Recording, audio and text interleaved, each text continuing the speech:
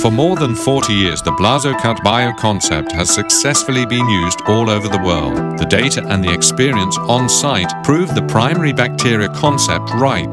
Studies, for example, by the Hygiene Institute in Heidelberg in Germany confirm this.